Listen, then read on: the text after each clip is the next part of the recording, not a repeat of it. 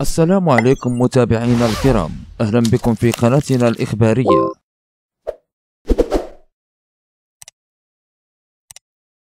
غادر مصطفى الرتبوي اللاعب السابق للوداد الحياة إثر سكتة قلبية مفاجئة تعرض لها داخل أحد ملاعب الدار البيضاء. وسقط الرتبوي أرضا أثناء خوضه لمباراة حبية في ملعب في حي الوزيس بعد أن ألمت به أزمة قلبية. ونشرت إدارة الوداد على الموقع الرسمي للنادي تعزية لعائلة مصطفى الرتبوي.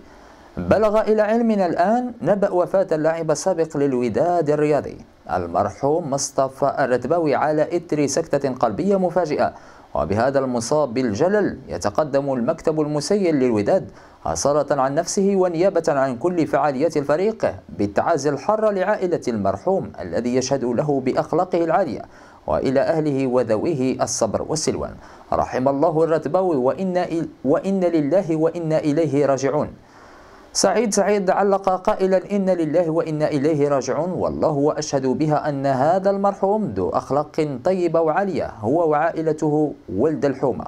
الله يرحمه ويرزق عائلته الصبر والسلوان.